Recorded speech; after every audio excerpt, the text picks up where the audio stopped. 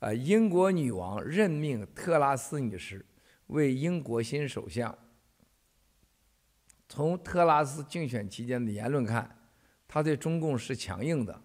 请七哥谈谈他的就任对全球的遏制中共，尤其是制裁香港有什么影响？谢谢。这问题太好了，全球关注。但是，呃，全球关注人对这个女士呢，真正了解的人可能并不太多啊。啊，这位女士啊，是一个英国，我觉得可能有史以来啊，继撒丘吉尔啊，近代的撒切尔夫人啊，又出来的一个最最对英国具有革命性的一个首相啊。大家都讲他就是这个关于欧强大的这个欧洲。就是英国的英国的强大了，包括能源战略啊啊，包括这个坚决这个，呃，不允许俄国的独裁到英国来啊啊啊，不能和俄国独裁合作呀，跟独裁合作就是跟罪恶合作呀，等等等，特别是中共啊，说中共就是流氓啊，就是第一号敌人啊，包括对香港他还是呃非常看好，等等等吧，他关键他是亲美派。啊，百分之百的亲美派。另外一个，大家可能是不了解他很多，呃，另外的两方面啊，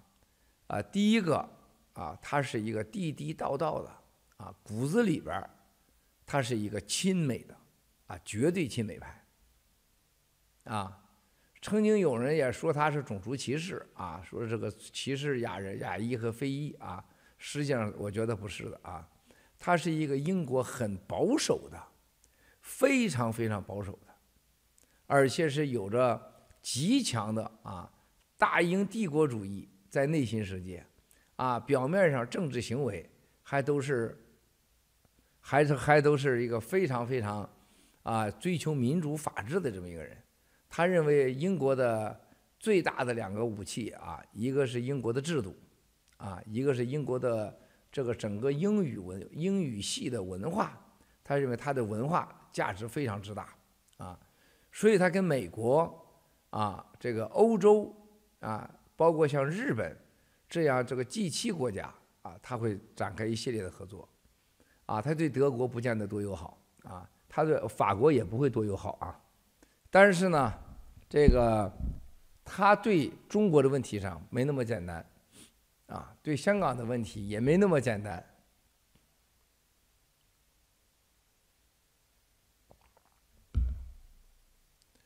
我觉得他对中共啊，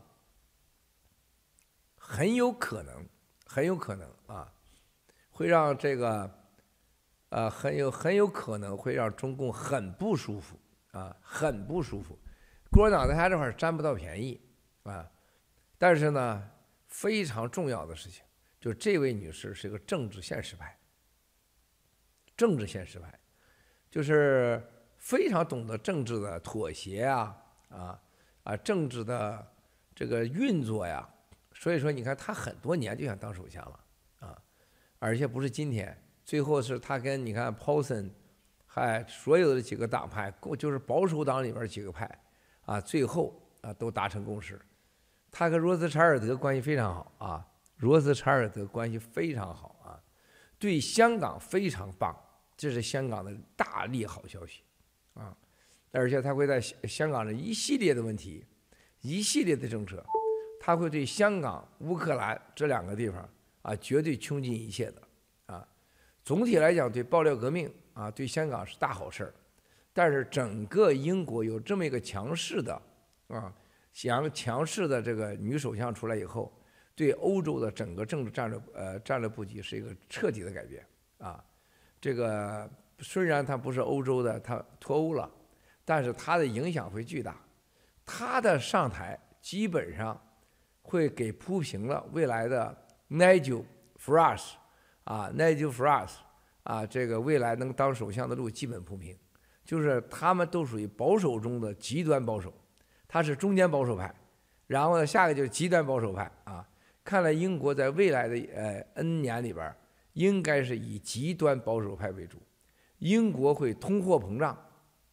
啊，然后呢，会整个的货币会贬值，然后英国会大肆的借贷啊，然后英国会在这个全球啊，全球和美国全面合作，嗯，所以说这个呃感觉啊，这个我觉得这对咱们灭共是大好事。但是呢，我觉得啊呃丽丝呢啊就是咱们叫艾斯拉，咱们都叫艾斯拉丽丝啊，这个这个女士呢是个极为啊极为啊稳重可信赖的政客啊，这个人不是一般的。就是对自己的要求是道德很高的啊，但他不是人，不是神，他是人啊。他他对自己的要求很高很高很高啊。这位女士的政治前途无量啊，呃，相信在新中国联邦这个事儿上啊，他会强烈支持